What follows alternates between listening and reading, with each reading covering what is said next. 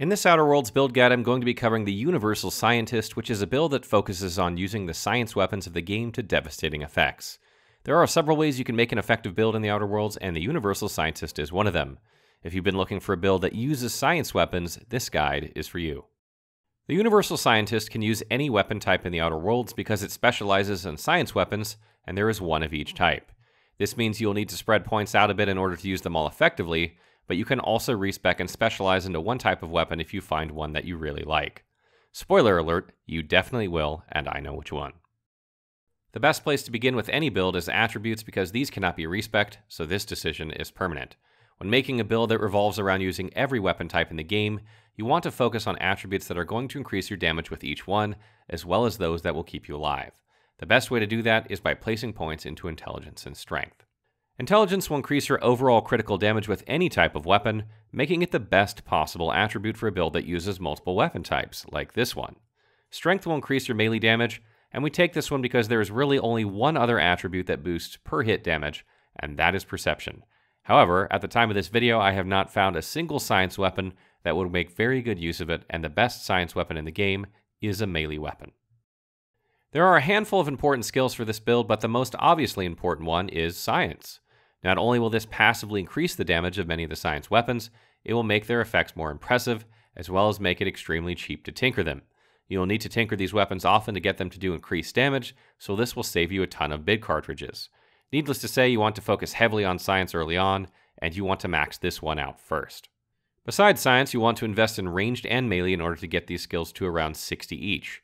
60 is a great point for melee and a decent point for ranged weapons. If there is one type of weapon you like more than others, you can take that skill up to 100.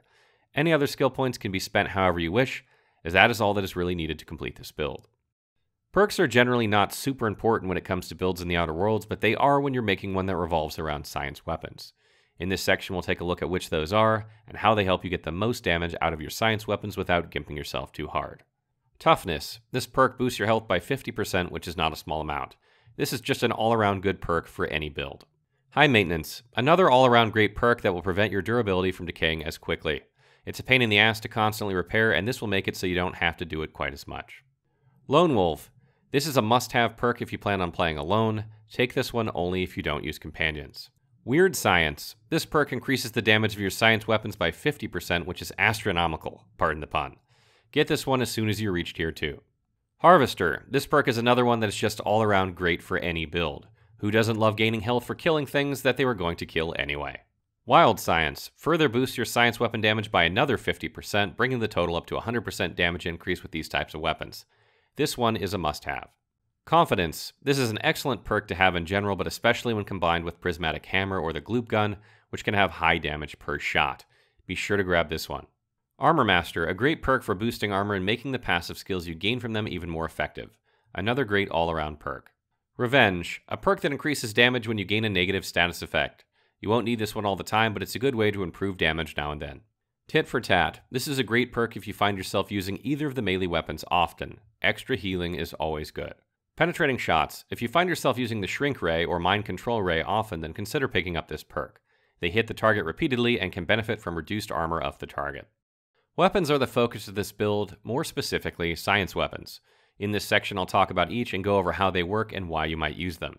You'll gain these weapons during the quest Weapons from the Void, which is a rather lengthy quest, meaning you will not get some of them until later in the game.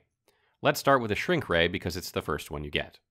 Holding down R2 on an enemy when using the Shrink Ray will shrink their size while simultaneously dealing damage to them over time. While it looks cool, the shrinking effect is not overly useful, especially later on in the game. The gun deals significant damage though, even if the range is quite short. The Mandibular Rearranger is a one-handed melee science weapon that freezes targets on every third strike.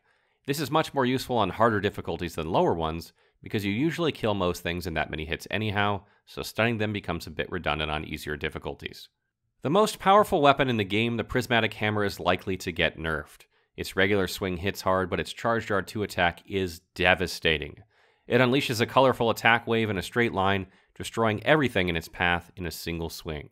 This attack can hit for over 20k easily, which is about 10 times higher than any other weapon I've tested.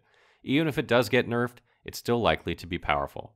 The Gloop gun fires much like a plasma launcher, dealing high single target damage in an AoE that can raise enemies into the air if they don't die first. It's very good against large groups of enemies and is good in tight quarters. The Mind Control Ray forces the target to attack other enemies while you hold R2. It also does damage over time, often killing the target before it ever has a chance to do anything noteworthy. None of these weapons can be modded, unfortunately, so there is no real need to discuss that. There may be other science weapons in the game that I have not found, but there shouldn't be many more if there are.